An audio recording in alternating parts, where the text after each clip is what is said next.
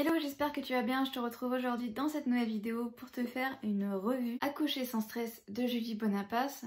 Et le deuxième, J'accouche bientôt, que faire de la douleur de Maïti. Alors je vais pas me risquer à dire son nom parce que déjà son prénom je, pense que je vais mal prononcer. Donc aujourd'hui je vais te faire une revue de ces deux livres formidables parce que pour moi c'est vraiment des indispensables et je pense que pour moi ils sont très très utiles et qu'on n'en parle pas assez. Je propose d'abord qu'on parle de celui-ci, donc Accoucher sans stress. Il est relativement connu on va dire sur les groupes euh, d'accouchement sans péri. Pour te remettre un petit peu dans le contexte, donc pour mon fils, pour mon premier accouchement, j'ai accouché avec péridurale et pour ma fille, j'ai accouché sans péri. C'était vraiment hyper important pour ce deuxième accouchement que j'arrive en fait à accoucher sans péri.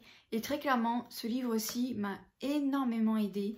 Donc si ton but, on va dire, c'est d'accoucher sans péri ou c'est de tenir le maximum sans péri, c'est vraiment un livre que je te conseille. De toute façon, même l'autre livre, je le conseille également, mais bon bref, je vais arrêter de m'étaler, on va rentrer tout de suite dans le vif du sujet. Ce que j'ai du coup beaucoup aimé dans ce livre aussi, donc Accoucher sans stress, c'est qu'en fait, c'est un livre qui en fait te montre énormément de positions pour t'aider pendant en fait le travail. Donc que ça soit du 4 pattes, que ça soit voilà avec différents outils comme le ballon de gym par exemple. Également c'est un livre qui peut te donner plein de conseils si jamais tu as par exemple un enfant qui se présente en siège et par exemple ben, on te dit qu'il faudrait qu'il se retourne. Donc si tu veux l'aider, également il y a des positions qui sont faites pour aider le bébé à faire la rotation de nouveau à avoir la tête en bas. Et dans ce livre aussi, c'est tout expliqué. Pour te montrer un petit peu l'intérieur du livre, les trois quarts du livre, c'est ça. On te montre beaucoup beaucoup en fait de deux positions je trouve également super bien dans ce livre. C'est qu'on montre en fait également le partenaire on va dire qui sera là avec toi le jour de l'accouchement. Et je trouve ça vraiment bien que en fait on ne montre pas uniquement une femme seule en travail mais une femme avec euh, quelqu'un d'autre euh, qui peut l'aider que ce soit une sage-femme que ce soit l'accompagnant ou l'accompagnante. C'est également un livre qui va t'expliquer brièvement la physiologie, on va dire, du corps de la femme, assez bien, je trouve. Mais il va pas autant entrer dans les détails que l'autre livre. Mais par contre, moi je sais que, euh, voilà, des moments il dit que c'est hyper important de bien respirer. On travaille énormément la respiration avec ce livre. Donc on t'explique un petit peu tous les impacts. Le seul point négatif que je pourrais dire par rapport à ce livre aussi, c'est qu'en fait, très souvent, pour t'expliquer un petit peu le jargon médical, ils te mettent par exemple un petit 1, un petit 2 et en fait il faut aller tout à la fin du livre pour en fait euh, ben, comprendre ces termes et ça je trouve ça vraiment dommage je trouve ça dommage en fait qu'ils aient pas mis ben, à la fin de chaque page à chaque fois le numéro euh, en t'expliquant le, terme de façon simplifiée, enfin le mot de façon simplifiée. Ça je trouve ça dommage. Mais sinon sur le reste je le trouve très bien. J'avais lu des commentaires comme quoi c'était pas clair et je suis clairement pas d'accord. Pour moi je le trouve assez clair. J'ai eu aucun problème on va dire de, compréhension vraiment dans ce livre aussi. Si tu dois faire un choix je dirais entre les deux livres parce qu'encore une fois c'est quand même un petit budget. Mais vraiment je te conseillerais plus accoucher sans stress parce que tu as quand même une base de physiologie dedans pour t'expliquer un petit peu qu'est-ce qui se joue pendant l'accouchement dans le corps, etc. Et de l'autre aussi, tu as des positions qui peuvent t'aider pendant l'accouchement et également, eh bien, euh, pour t'étirer, tout ce genre de choses. Donc vraiment, si vraiment tu dois en retenir qu'un des deux, je te conseille celui-ci parce qu'il apporte vraiment des excellentes bases pour le travail et euh, pour le reste. Et surtout, ce que j'apprécie énormément dans ce livre, c'est que vraiment c'est assez simplifié. Même les schémas sont simplifiés. Enfin vraiment, je le trouve top ce livre. Donc je l'ai acheté sur l'Amazon et il me semble que je l'ai payé une vingtaine d'euros. Donc voilà, maintenant je vais passer à l'autre livre. J'accouche bientôt, Que faire de la douleur? C'est un livre, encore une fois, qui est très connu et que quand ce livre-là est en vente, en général, il part comme des petits pains. Bon, comme tu peux le constater, sais pas ce que j'ai moi avec les livres, j'ai tendance à toujours les tordre, donc euh, bon voilà, c'est moi quoi. Sachant que je l'avais déjà acheté d'occasion il était déjà un petit peu abîmé, mais bon avec moi ça s'est pas arrangé très clairement. Ce livre aussi par contre est euh, beaucoup plus complexe à comprendre que Accoucher sans stress, mais lui par contre il est vraiment à fond sur la physiologie, vraiment il t'explique absolument tout ce qui se passe, tous les changements hormonaux qui se passent pendant la grossesse, pendant l'accouchement, et il t'explique un petit peu ben, qu'est-ce que tu vas ressentir finalement.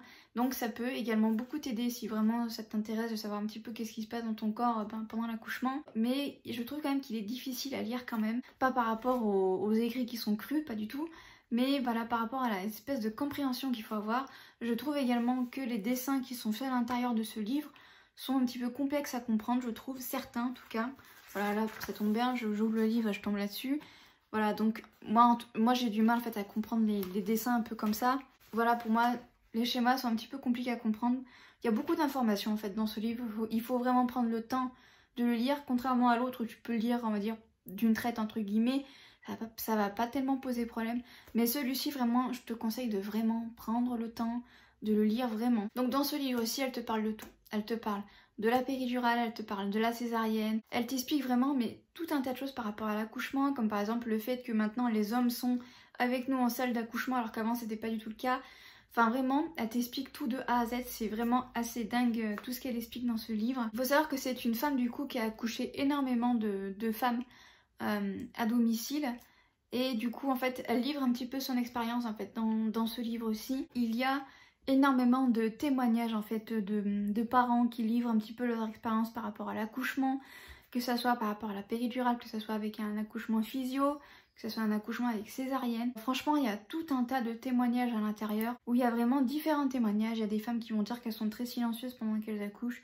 Il y a d'autres qui disent qu'elles font énormément de bruit, qu'elles hurlent parce qu'elles sentent qu'elles en ont besoin. Enfin, vraiment, tu as tout type de témoignages et les témoignages, je trouve ça hyper intéressant parce que du coup, ça donne un peu plus de relief à ce livre parce que c'est vrai que elle parle, elle parle, voilà, elle parle tout le long de son livre, mais c'est vrai que du coup c'est un œil assez professionnel même si elle a eu des enfants. Mais voilà, le fait qu'elle rajoute un petit peu ben, beaucoup de témoignages de parents qui parlent ben, de comment eux ont vécu l'accouchement, que ce soit le papa ou la maman, et ben je trouve ça super bien, ça donne quelque chose d'encore plus réel. Et là on peut vraiment en fait euh, visualiser tout ça. Et je trouve également que c'est un livre qui rassure énormément. Parce que elle répète tout le long de ce livre que on est capable d'y arriver, on est capable d'accoucher sans péridurale.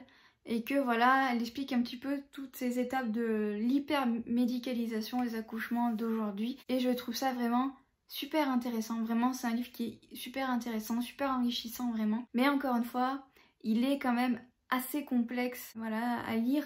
C'est vraiment un livre qu'il faut lire au calme si tu as des enfants qui jouent autour de toi. Euh, vraiment, faut que tu te mettes un peu dans un coin où tu es vraiment tranquille.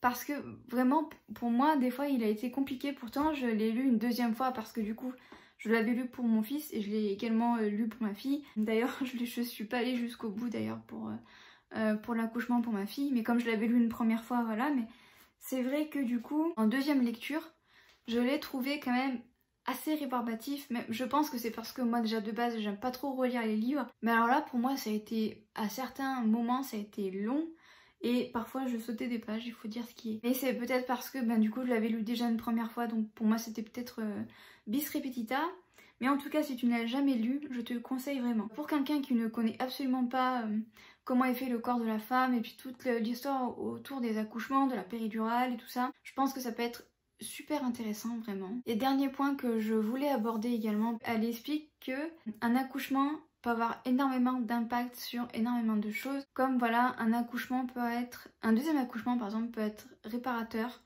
par rapport à un premier accouchement qui se serait entre guillemets mal passé et euh, ça je trouve ça hyper important parce qu'on n'en parle pas et moi d'ailleurs mon deuxième accouchement a été réparateur pour moi même si si tu as vu ma vidéo par rapport à mon premier accouchement eh bien j'ai pas eu un accouchement catastrophique, bien au contraire j'ai eu un très bel accouchement, niveau médical je parle. Et moi mentalement j'ai du mal à encaisser en fait de n'avoir pas pu aller jusqu'au bout de mon projet, accoucher sans péri. Et donc là du coup le fait d'avoir réussi pour ma fille, ça m'a littéralement guéri en fait. Mais je t'en parlerai dans une, dans une vidéo, je t'en ferai une vidéo de toute façon là-dessus parce que j'ai pas mal de choses à dire. Donc voilà, je crois que j'ai fait un peu près le tour par rapport à ces deux lectures. N'hésite pas à me dire en commentaire si, ben, euh, tu les as lus et si tu as des questions par rapport à ces deux livres aussi. J'y répondrai avec grand plaisir, donc n'hésite pas à, me dire tout ça en commentaire. Si la vidéo t'a plu, n'hésite pas à t'abonner à la chaîne et également à me rejoindre sur mon compte Instagram. Le lien de mon compte est en barre d'infos. Et jusqu'à jeudi prochain 18h, je te souhaite une très bonne semaine. Bye bye